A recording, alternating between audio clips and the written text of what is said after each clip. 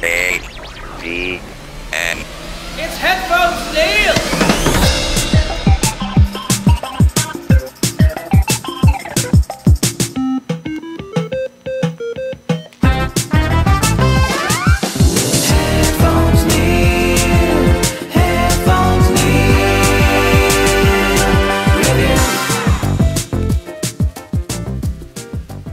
guys, and welcome back to another episode of Headphones Neil Reviews. I'm your host, as always, Headphones Neil, bringing you a quick episode for this week just because it's kind of one of those things that for the first couple of reviews is going to be a work in progress kind of review because I'm still in the process of watching one show, the other one just started, but the third video review is going to be um, of a movie that I was really anticipating watching, and as it turns out, it's already on streaming, so I gave it a watch. And then I'm gonna round it out with an update from last week and an update on the video game review.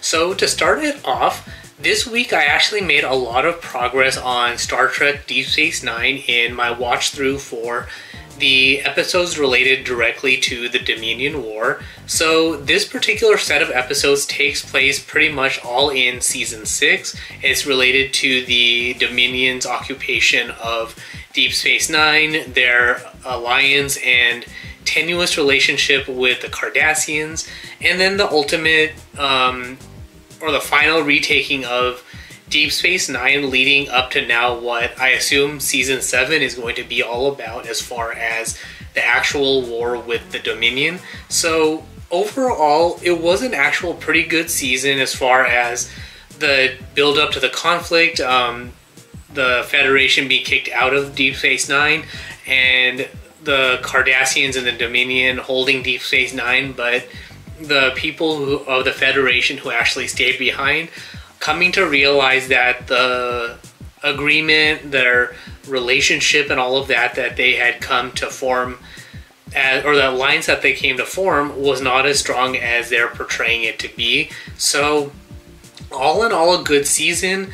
Um, I actually, for the most part, also really liked the character progression of Gul Dukat, but there were times where um, it felt like his the weakness he had for his daughter was played up a little bit too much. So it was a very weird thing where it felt like his character was really good, and it's not that he doesn't have feelings for his daughter, but it was one of those things where it felt like um, it was two distinct characters, and it was really hard to tie them all very nicely together. So I don't know, it was all kind of weird for me, but overall, I liked his character in this season.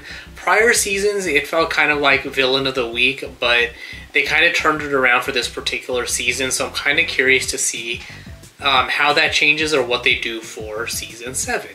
So with that being said, I am going to start heading into season seven because I will be having to watch most of the season for the actual Dominion War. Um, I don't know if I'll get it all watched in the next week, but I'll give an update next week as far as at least the early episodes before we head into the final 10 seasons. So um, look out for those reviews for the next couple of weeks.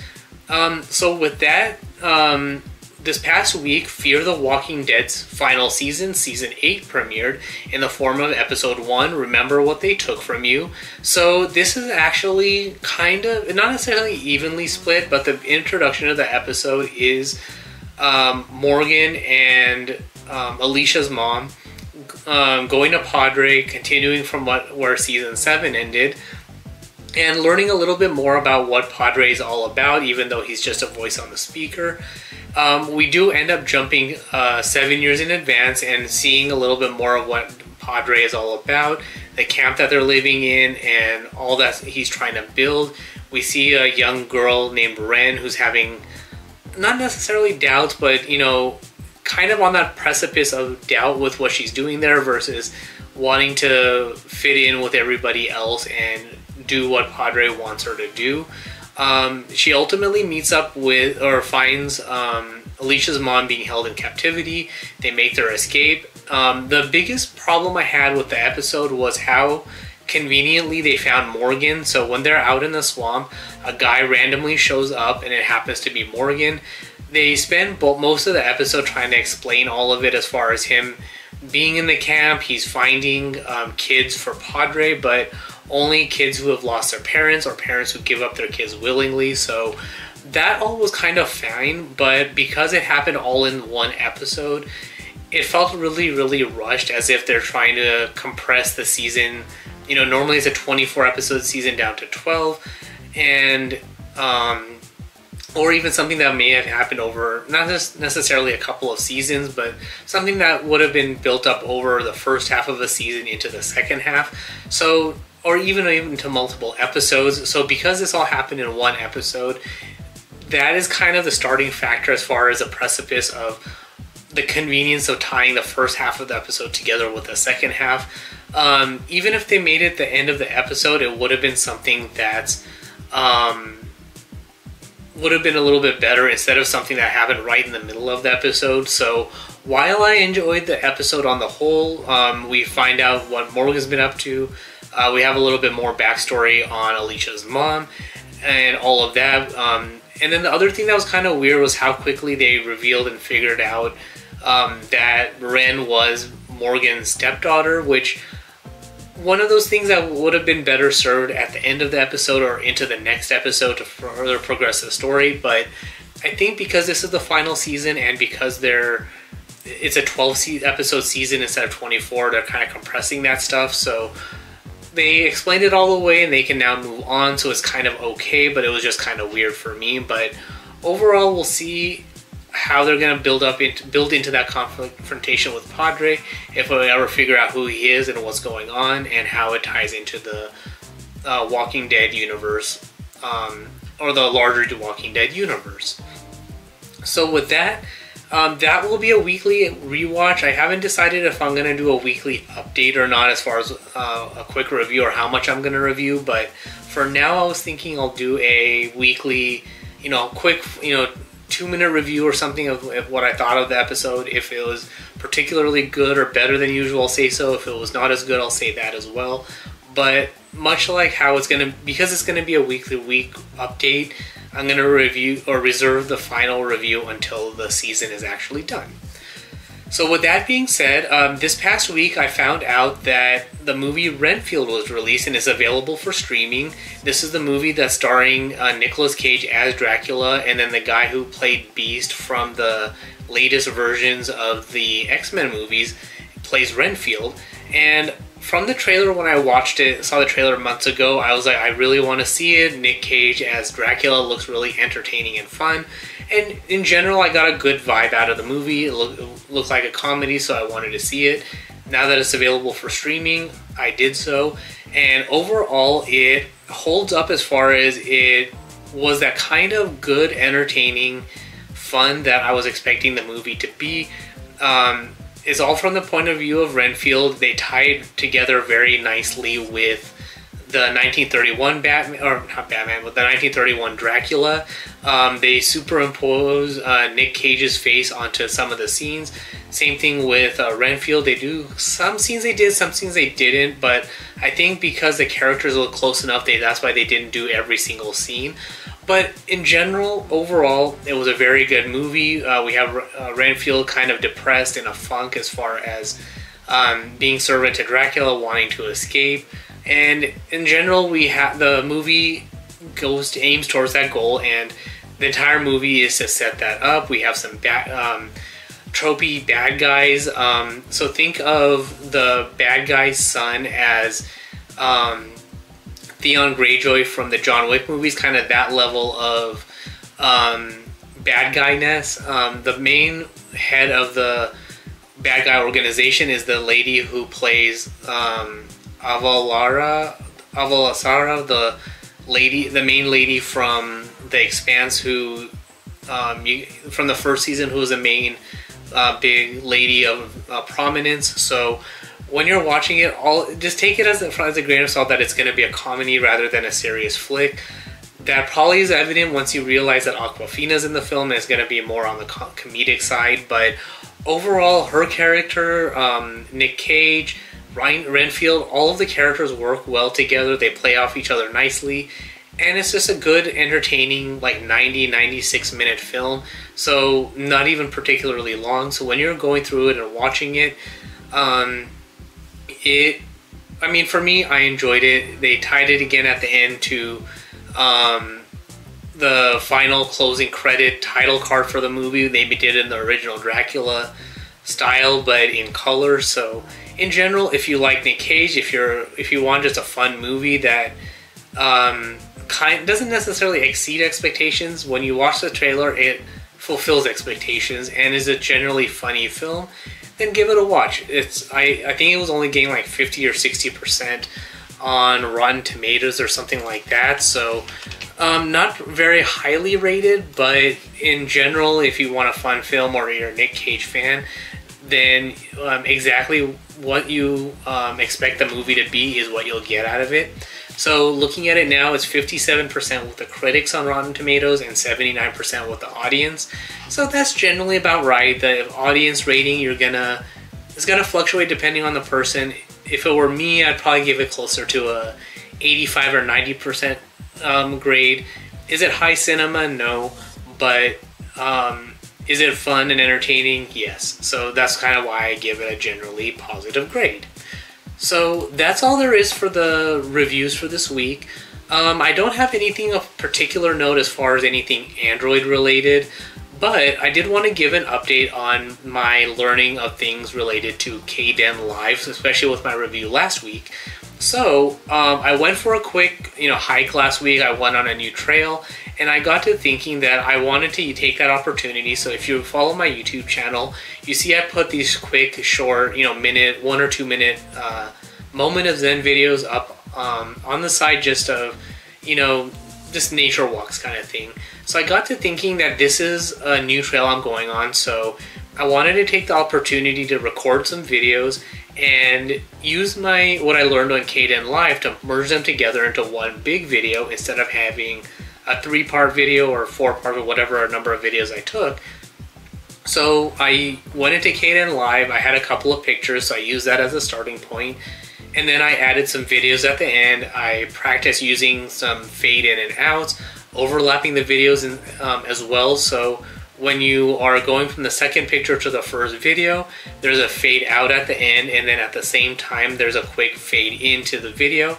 And I did that across the videos as well. Um, I also did a fade in and out of audios because I realized that, or I got to wondering why when I was editing the video, why I couldn't use this fade in and out. It was giving me an error message.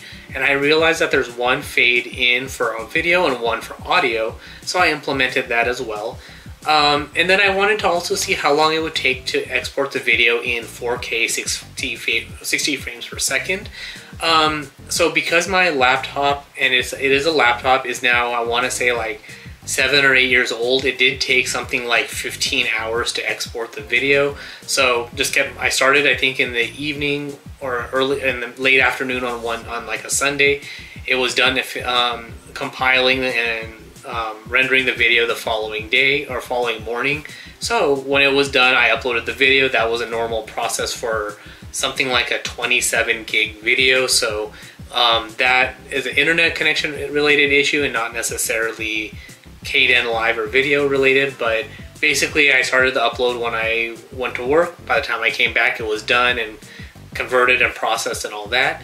So overall, the process worked. Um, it was a success, even though it was a day and a half long process for me. But um, everything that I wanted to do worked. The fade in and out, fade ins and fade outs worked nicely. So I was happy with all of that. So in the show notes for this particular episode, I'll have a link to that video. So it's a nice one, one big long, like 16 minute or 17 minute video. So you can see how that came into effect.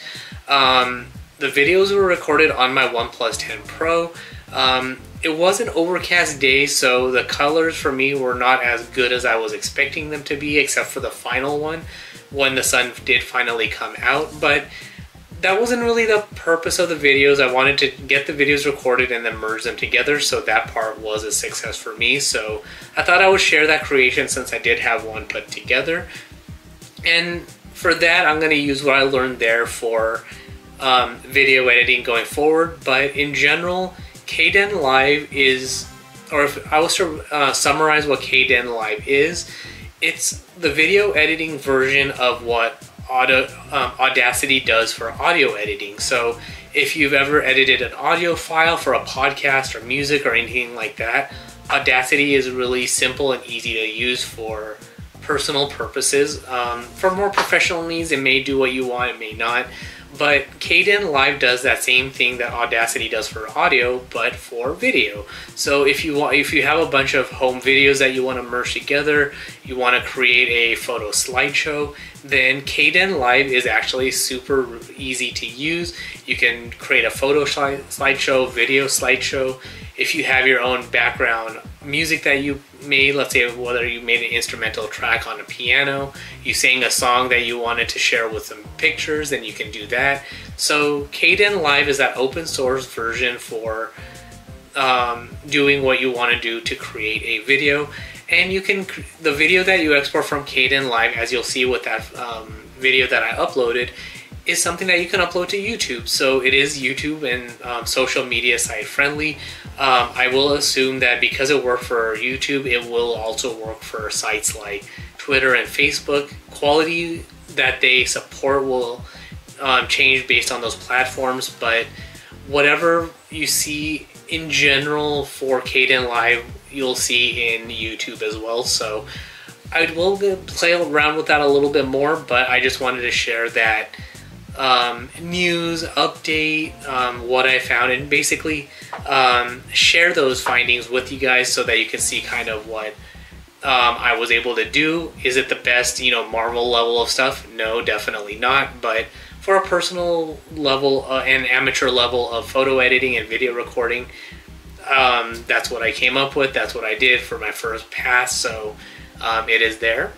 Um, this week, I also had a chance to play it a little bit more um, Assassin's Creed Origins.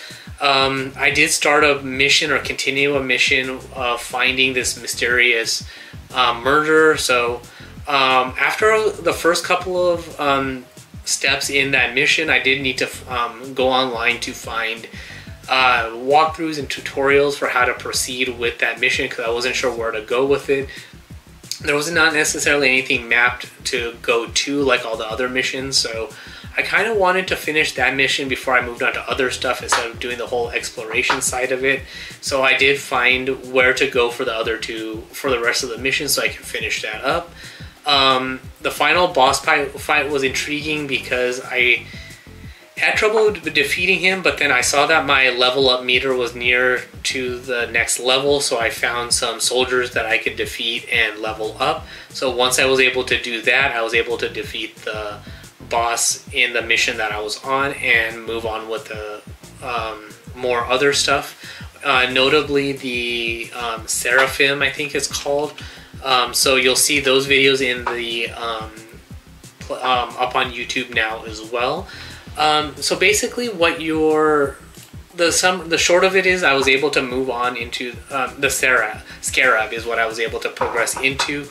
Um, so essentially, Assassin's Creed is continuing to hold my interest, but every so often there's those random missions that are weird and difficult to progress. Um, and I'm not above going onto you know YouTube and Google to find videos and gameplay and tutorials to find out how to prog- uh, progress. Is it was it hard for other people as well and that sort of thing? But now that I was able to move on, I was able to find defeat another um, person as far as moving on with the story.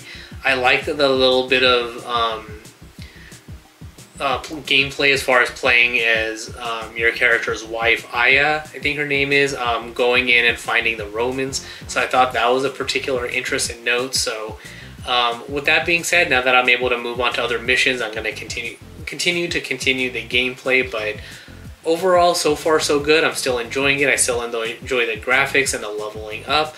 Um, I think it is time to upgrade some of my equipment again, so I'm going to be doing that. But overall, it is fun, and I'm hoping by the time I finish it that um, Star Wars um, Jedi Survivor, I think, the sequel to uh, Fallen Order, I hope that shows up on Xbox as well. But if not, I'll find something else to play. But so far, I am enjoying Assassin's Creed Origin quite a bit, so you can follow along with my amateur gameplay on YouTube as well. But so far, so good. Story's interesting. I can't wait to see where this particular story leads.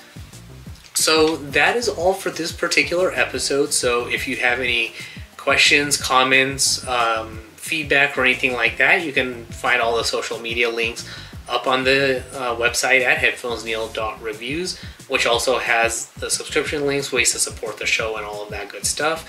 If you want early access to the episode along with an ad-free version of the show, be sure to support the show on Patreon at patreon.com slash pateln01.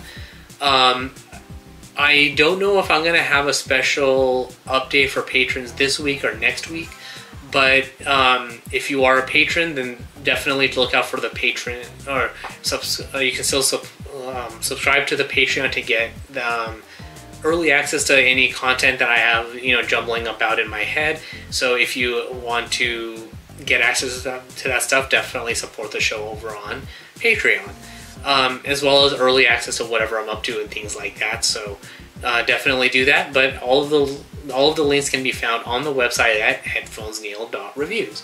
But thanks for tuning into this particular episode, and until next time.